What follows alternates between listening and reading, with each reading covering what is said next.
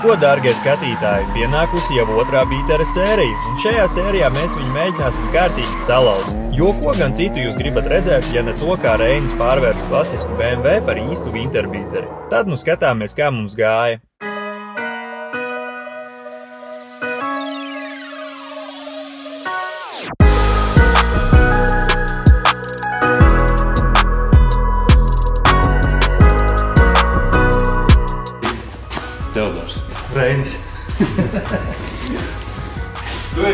Esi, tas no čūskas? Jā, čūkņas milti un čūkņas tējas un viss jau, jau viss ir tā. Čūskas mašīnas, kurš ņem Čūskas čūkņu un braucam trasi, jā, smukņa gatava. Čūkņā viss ir ar čūkņu piekrāmēts, tā kā var no čūkņas doties tālāk. Klausies, bet man šitam sūdum eļas lampiņiem vajadzētu laikam eļu pielikt. Tā ir, kur čūkņi atbrauc, tad arī lampiņas visādas ietekmēs. Karoči, X-am, X-am izbeidzās arī. Nezinu īstenībā, vai izbeidzās. Man liekas, ka izlīja viss stūris pastūris. Tā kā labi, ka tas mums vēl arī no šēla ir palicis, no tricāra vai ne? Tricāra viņu vienkārši nevajadzēja. Ielēja bišķiņu. Bet šis gan man vienmēr liekas priklīgi. Pastāstiet, šito dzinēju. Tas ir trīslitrīgais dzinējs. Tāds pats nāk, ot šādās mazās buļbuļsakās. Nu, labi, tricārā viņš nenāca, bet, nu, in general, šis sastajā viņš nāk. Kā var būt milzīgam džipam, tas vienkārši ir govs. Nāk tāds pats dzinējs, kā būt mazai sportiskai buļbuļsakai. Man tas kaut kā neliekas kopā, tāpēc, ka ot atstājas kaput pastāstīt. Nu. Tur kaut kur iekritis dziļi iekšā. What the fuck, vai ne? Tu sagaidi, pazudis ir. tur ir kaut kas wow, vienkārši. Un nav. Tas ir vienkārši maziņš BMW dzinējums.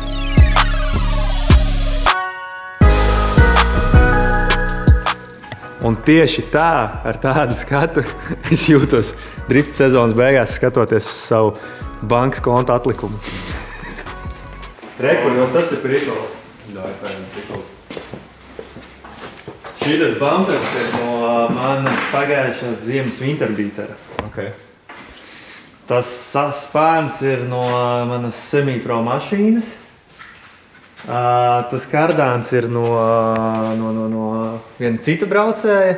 Tas ir sajūga disks, ko es ā, salauzu pirms pēdējās gonkas. Tas ir ā, krūtām sporta mašīnām, ir ā, vairāk sajūga diski. Man īstenībā ir trīs sajūga diski, un viens vienkārši sašķīda lupatās rekur. Bieži tā negadās. Un, protams, ā, 3B motorsports salauza golfu, jo mēs mūsu procesa attīstības gaitā ā, nenoliekšu, ka bija viens grūts moments, kur man daudz labāk patika doma vienkārši iet spēlēt golfu. un Es reāli gāju un sāku spēlēt golfu. Un, ā, bet par laimi viss sanāca tā, ka mēs līdz tām gonkām nonācām. un Tad 3B motorsports, ā, lai, lai tā klāji nodemonstrētu atbalstu autosportam, paņēma golfu nu, un nofilmēja un salauza viņu. un Principā, tad, viss, ā, viss, kas lūdz, tas iet pie sienas. Ja? Jā, jā Ok. okay. tas, tas ir, tā ir lūk, vēsture. Tā ir vēsture, tā ir tradīcija. Turpinām tradīciju. Nu jau, nu jau tā kļūst par tradīciju. Un īsnībā labs moments pastāstīt, Jēkabs ir dizaineris. Un ierakstiet komentāros, ja beidzot gribat redzēt kaut kādu mērķu, vai ne? Jā, šodien iepazīstam uh, vidi. Skatos, ko Reins dara, kāda ir viņa ikdiena, un tad jau, tad jau uztaisīsim kaut ko foršu. Un tad mēs varētu pirmo ka arī Vot īstenībā labi fišti, ka ziniet, šitie, kā sauc basketbolā, kad uzstājas rīktīgi, tur paraksta un aiz stikla pieliek. Vot Tad, tad tāda arī vajag. Jā, jā, jā. pirmo, pirmo izgatavot, vēl parakstīt ar autogrāfu un visu. Un, un pēc 50 gadiem ebajā viņi varēs kaut kādu pusļīmumu pārdot. Kaut gan, nu jā, jāstāsta, vai inflācija tajā brīdī, vai tas pusļīmums būs kaut ko būs vērts. jau, uh, būs jau 10 eiro šobrīd. Mošs saldējums sanāk. Jā, jā, jā. Šitie brīnumi vienkārši ēda eļļu, tāpēc, ka laikam viņam nepatīk, ka kastros ir oriģinālais. Tāpēc mēs tagad liesim šelu. Jo viņam šels labāk garšo. Un, ja tricēram šodien noklapēs dzinējs, tad mēs varēsim šito dzinēju ielikt tricērā, Nu, vai tur pat uz vietas. O, paskaties, kā mēs ritīgi viņu aplējām. Tā lai arī no ārpuses viņš ir saēļots, zin kā? Tātad pasties, nu kādi smuki diski ir. Tiesa gan viņi jau netīri. Tad es gan jau ar kaut kādām palaidnībām ir panākti nodarbojies ar viņu. Uh, bet ir, ir, ir diski, ir, protams, Sunfull SF 888, par kuriem stāsta, cik maksā drifts logā. Tad, kas vēl tika sadarīts? Amīša aizmugurē uzlikti vai ne? Tā tad ir 39 amīša aizmugurē.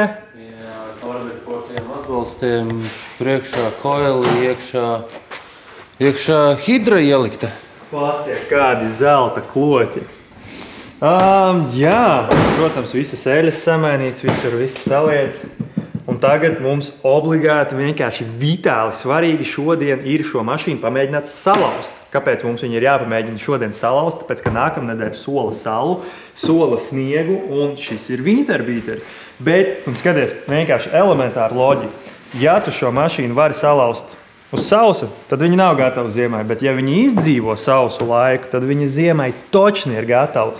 Un, protams, ka tu vari atstāt varbūtību, ka nu, gan jau ziemā nesplīsīs, bet es viņu gribu maksimāli pārbaudīt. Tāpēc, ka katrs tas ziemas izbrauciens, tas atkal tas ir laiks, nauda, enerģija, entuziasms un tā tālāk. Un es, es gribu, lai mašīna ziemā kalpo perfekti. Tāpēc vienkārši šodien pamēģinām rīktīgi viņu izgasēt, visu pamēģināt salauzt, ko mēs varam. Un, un saprast, kas mums ir vēl jāstāsta. Jo paļbom kaut kas būs vēl jāstāsta līdz nākamajai nedēļai. Tā kā Davai, jāgāž uz trasi, jāgāž uz trasi.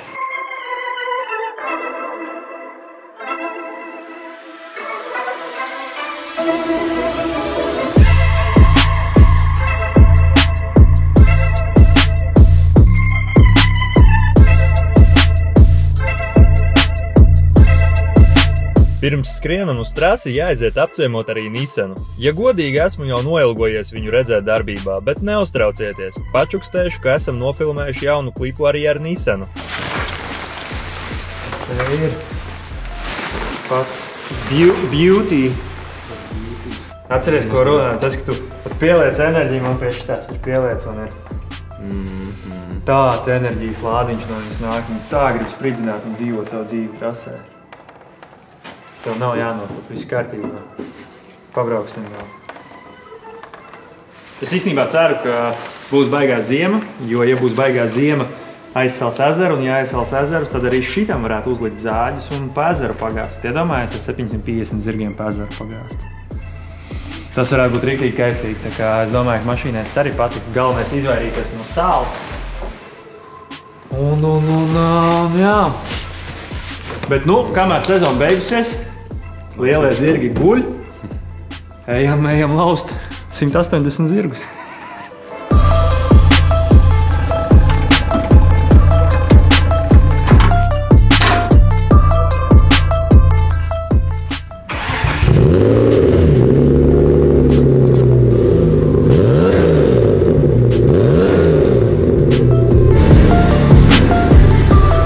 Noteikti jautāsiet, a, kāpēc uz trasi jābrauc ar trāli, vai tad tricāram nav skata logā? Nu, ir, ir, bet man godīgi vairs nav 18 gadi, un braukt ar sēdinātu kārtīgu ar skaļu izpūtēju pēc tam, kad trasē es kārtīgi nolaidu tvaik, nu man točna negribas. Evo, Tedi, tā varētu būt, ka pielējot 4 litrus ar eļu, vairs neklap kompensatori. Izklausās baigi mierīgi tagad strādāt zinēji. Pirms tam tā kā dīzels tāds uz, uz ne visiem bodiem, zin tā, puh, puh, puh, puh. Un man goda vārds likās, ka vienkārši eļļa ir sen pārstrādājusies. Un Jā, man izrādās, nē, vienkārši pieliek 4 litrus un brauc tālāk. BMW laiks.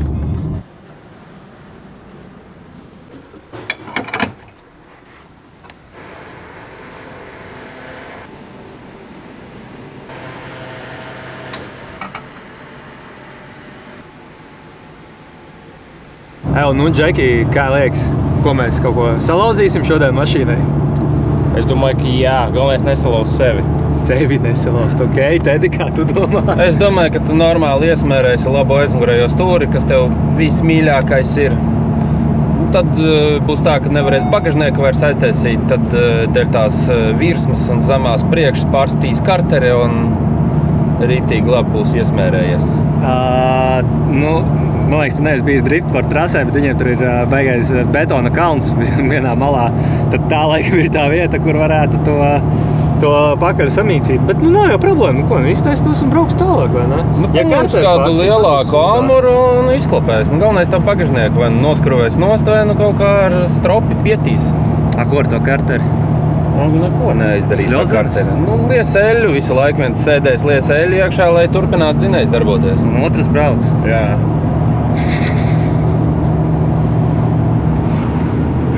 Okej. Okay.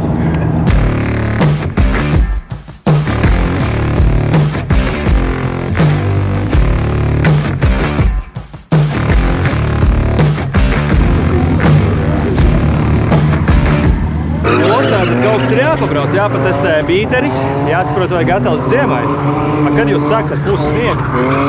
Tad jau viņš mīnus vairāk. Bet jābūt ziem- soli mīnus. Tā kā, ja tu, ja tu pamanīji, tur ir uzbērts tramplīns, tur varēs rekord no paša betona ieskrieties, nu vismaz 4. robā un lekt. Debesīs pavērsies laiks. Bet jā, tramplīns ir ziemas trasīta, būs lielāka šogad pa turieni. Būs. Ā, krūti. Super, man. Gaidām ziemu, jo gribās gāzt. Ar audīgu. Te astoņi audīgi patrāja jokērā. Kāpēc nē, izklaides vajag? Uh, dzīvā rinda vai ne?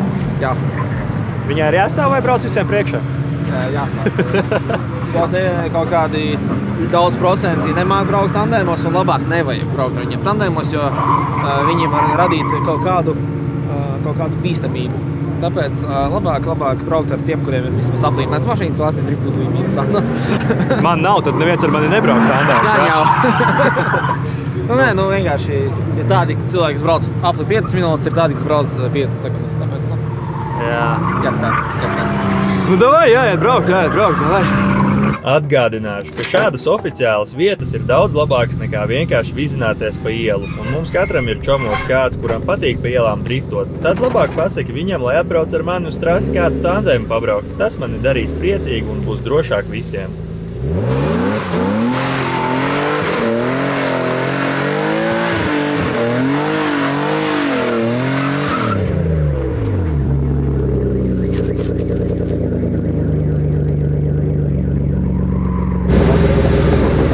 Uzvarām zemi bišķiņa, ja? Trīs ceņi pacēlām beņi. Pēc sajūtām Ir bišķiņa augstāk. ir augstāk, jā. Viņš izskatās tiešām labi. Man patīk. Man šis pārsteigts pa priekšu, ka tur ārkās neēdās iekšā. To jau tūlīt pārbaudīsim. Tātad esam ieradušies jau vienā no manas pieminētajām foršajām vietām, kur legāli var driftot. Tātad driftportā, tas ir Rumbulā. Ir atvērtā diena, pasties, cik daudz dalībnieki, mašīnas, viss notiekās.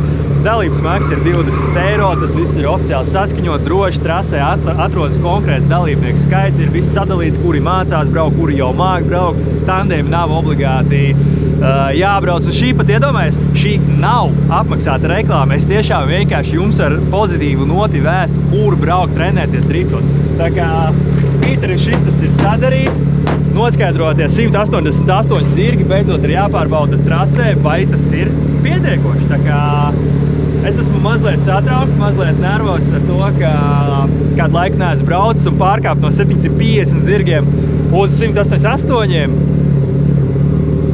Tas ir diezgan liels downgrade.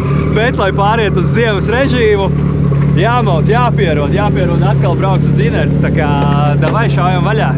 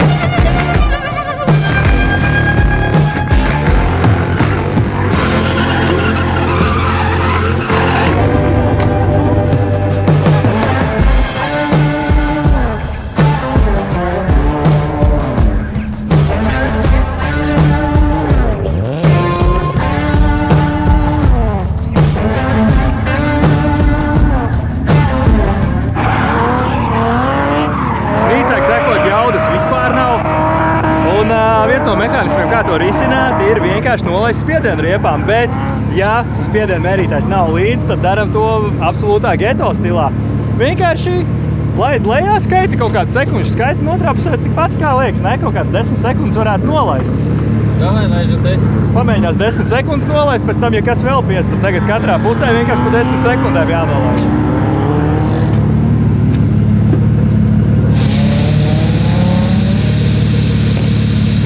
Es godīgi jau biju aizmirsis. Street klase nozīmē vienkārši visu laiku turēt mašīnu redlainā. Visu laiku. Es esmu jau pieredzējis semi-pro, protu, tur varēja ar gāzes pedāli vai ne. Jūs izjūtat katru niansu. Nē, street klase vienkārši. vienkārši bā, bā, bā, bā, bā, bā. Ūdens beļķi šitādi. Stulbi! Un uh, šitais ir no difa. No difa, p***, kas ir peļķi. Un tur ūdens tā kā ar.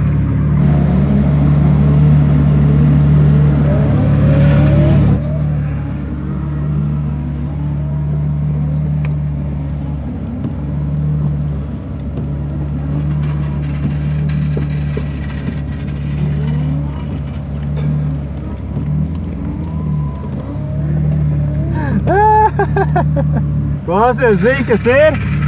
Man liekas, ka temperatūras dačiks nestrādā. Viņš jau kādu laiku tur ir iesprūdis. Viņš varbūt ir ar logu mazgāmo šķidrumu bačaku sasaistīts kopā.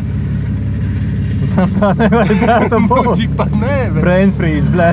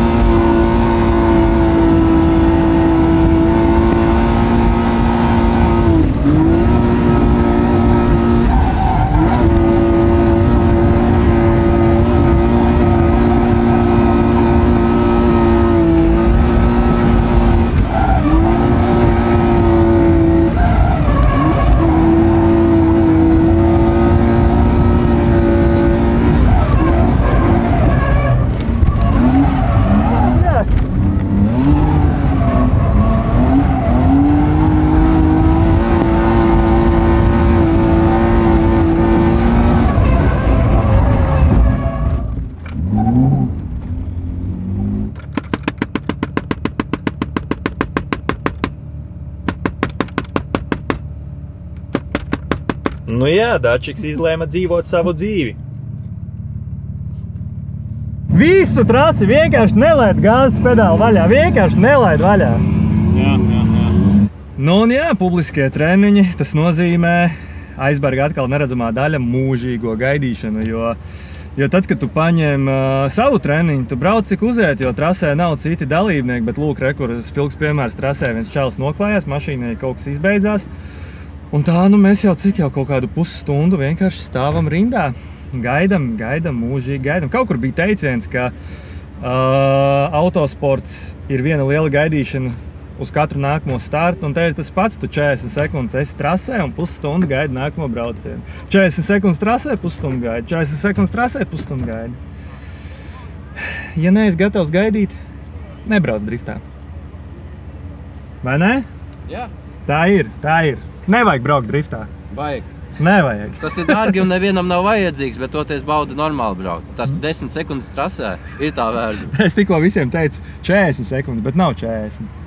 20 līdz uh, 35 sekundēm atkarībā no Nē, jā, bet nē, ir arī mazāk, man liekas, cik tur. Katlos, man liekas, ir kaut kāds 8 sekundes. Nē, nē, mēs likām uz papīra 26 līdz 34 sekundēm. Kā, nu kā tev? Varbūt likās ātrāk. Nu, es nevaru pabraukt 188 zirgi. Nu, nevaru. Pagrūt, pagrūt, Nu, nevaru. Nu, Ar otro, ja? nu jā, visi trasa ar otro vienkārši. Pedāls grīdā un gaidi. Vienkārši visu laiku gaidi. Pārmetiens gaidi, pārmetiens gaidi. Nu, kur kaifs? Nu, Inerts. Kā tu teici? Nu, jā, nu, tas ir viens liels uh, inerces drifts, powerslēdz. Es saprotu, es taču atceros, es pats rītā braucu, un tā bija visa sezona. Visa sezona, kad pedāls grīdām gaidi. Bet, uh, Man otrajā arī tas pats iemaut otrajā grīdā, iet viss, bet viņam redlains ir tik uh, tā ding, ding, ding. Un viņš tad, kad atsitiens, viņš taisno man ārā. Nu, jā. Un līdz ar to jālaiž bija vaļā vai jāspēlēs ar gāzīti. un Tas atkal nav smuki. Sagaidām ziemu, un tad var Vai normāli vai pa gāzt. slapju? Jā, vai pa slāpju, bet šitas, nu tad ņemam pro mašīnas un braucam pa īstam. Bet tu redzi, cik ekonomiski ar šito brauc. Jā. Es izbraucu četrus apļus ar pusītēm, degvielu izgāja 10 litri, viss. Un to 98. tagad maksā smieklīgi, eiro 80, nu tagad liekas smieklīgi. Uh, Aspirts 2,30. Man jau būtu aizgājuši kādi litri 30, 40. Mm, Sešas riepas. Sešas ir. Nu, ne par šī tik es izbraucu, būtu pusotra pāris aizgājis, un viņas maksātu trīs reizes dārgāk. gan- Nē, nu pagaidiet, cik 70, nē, 80 par riepu, 160, nu, re, ka 200 eiro būtu jau riepās viena aizgājuši. Jā, Netanolā vēl 100, vai kur tie jau ir 300. jā. A, tā mēs, jā, tieši Pa tā. Sotaku izbraucām caur sveikā pagaidām. Nu, jā, bet uh, Bet godīgi. bauda nav tā. Nē, nu, labi, man ir, man ir, tomēr ir ko pastūrēt. Man, nu, tur. Ei, Pastūrēt ir, bet. Zini, nav, tas, nav, nav tā robeža. Nu, tipa, te arī tas otrais gals ir sajūta, ka nu, pat ja tu nokrašos, nu nekas nebūs. Mhm. Ava, tad, kad tu brauc ar lielu ātrumu, Jā. tur tu zini, tur tev ir jābūt rīktīgi, vienkārši perfekti. Bet viņi arī kontrolēt vieglāk nekā šito. Šis tās sarostītāks. Nu, Sēraustītāks, daudz lielāka inerce, tieši tā saskrienies kā debils un cer, ka arī. Nu, pilnīgi cits. Pilnīgi, pilnīgi cits žanrs. jā. Tad, kad tu kāp augstāk, tas tā kā tu nevari iet atpakaļ. Tas vairs nav tik garš. Tāpēc es ilgi tā iepozēju, iet uz zemāk. Nē, negribās. Nē, tā ir paņēma. Un mums tomēr strīt uzbraukt. Treniņu, jā, bet, nu, beidz. Nu, ziemā, jā, ziemā vismaz to ātrumu mm. var dabūt. Sakas, jau malts, sotaks pa mežu uzreiz ir uh, rīktīgi neiz, bet, uh, bet šitas. Ne.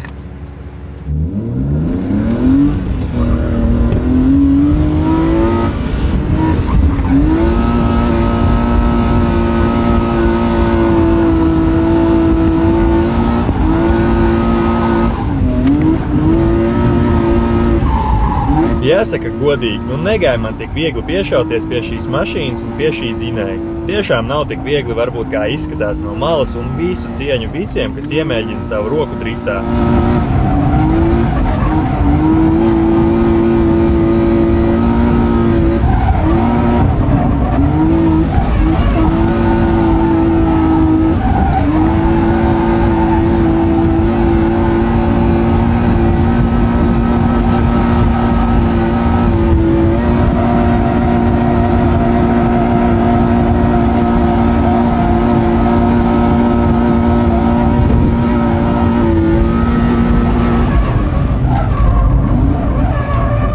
Negaidīts pārsteigums šodienai bija dzinēja karšana. It kā sīkums, bet katrs šis sīkums sit ārā no līdzsvara, jo tehnika ir forša, kad viņa labi kalpo. Savukārt čakarēties ar problēmām nosit visu prieku. Un viss slikti. Viss karsts. Tā kā līdz galam, līdz galam karsts. Jā, liela problēma tas, ka radiators ir viens rītas šūna. Sākās te un beidzās te. Viņam vajadzēja būt pilnam sandvičam. Izmērs ir uh, mikro. vai? Tad ir vēl viens ventilators, kas ir lielais sūcošais no Nissana palicis mēģināt iekšpusē viņu iestatēt. Vai arī jātaisa jātaisa vēl viens apciemojiens pie Nitrama, ja? Nu nē, nu vajag no, no 46. piezot. Tas būs jāizdara, jo šitā nav braukšana.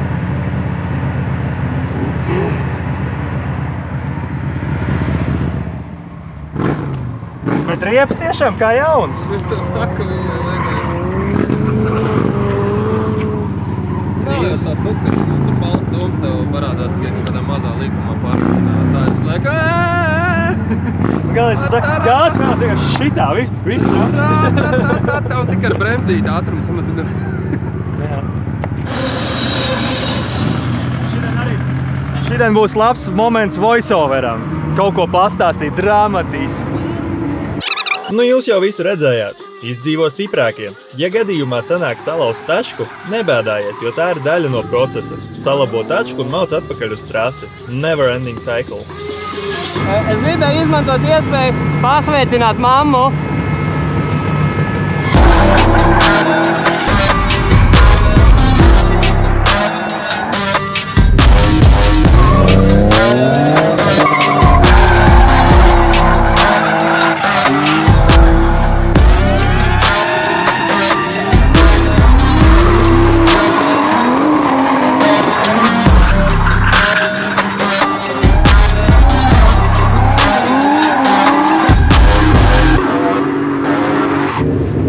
Trešo pabraukt, lai tiktu čalim līdzi. Es zinu, ka viņam ir kaut kādi vismaz 300 pāri zirgi. Vispār neiet trešais uzreiz logu. Tā kā, jā, otrais rops all the way.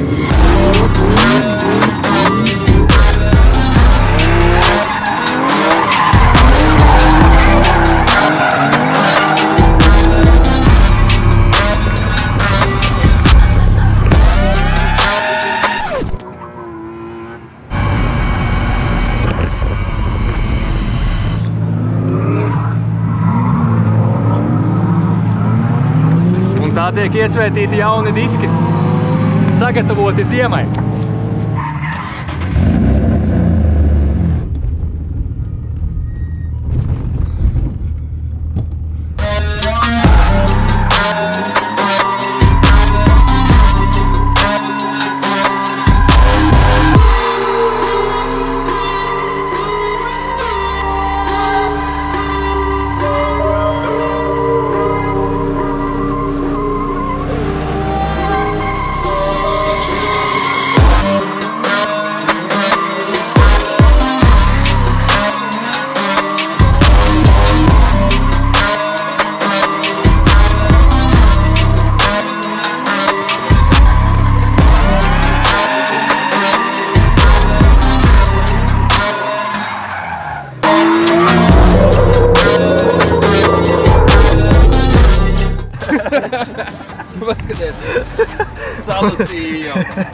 Tas ir pirmais kontakts ar... Uh... Nē, vajag, vajag šitā, te. Tricārs satikās ar zaru kaudzi.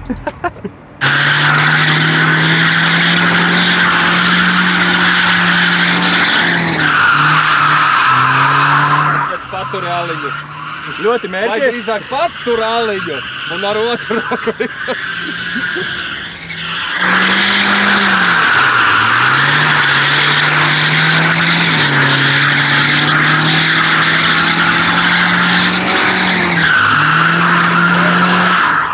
Ļoti mērķiecīgs jauns cilvēks.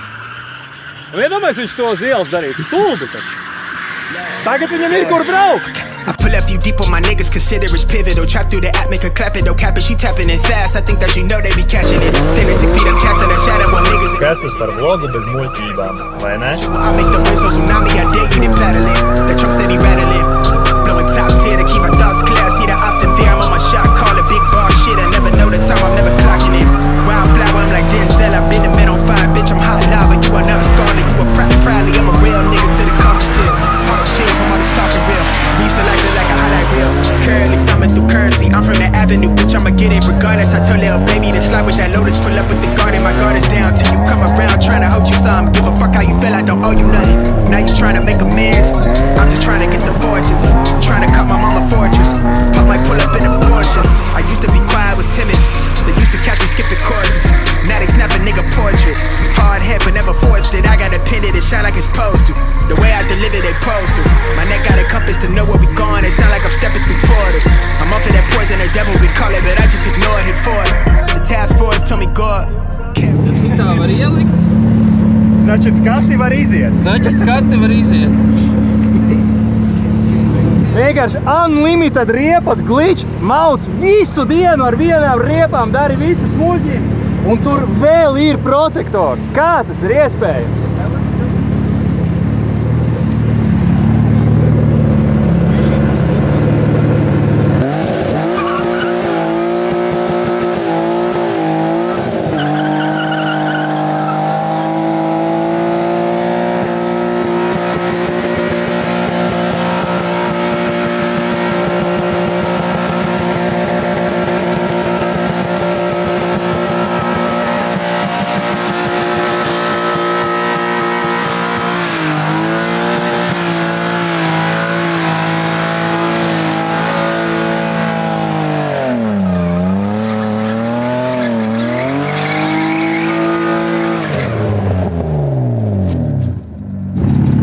Un vēl nav riepa. Tāds pambaks domāja, laiz dirs, nelaiz daudz. Nu, šoreiz nevajag. nu, jā, tur varētu arī apskādēties. Bet tas bedrē ielaist rāti. Ak, nē. Nebūs žēl, mašīna nebūs žēl, disks nē, nav.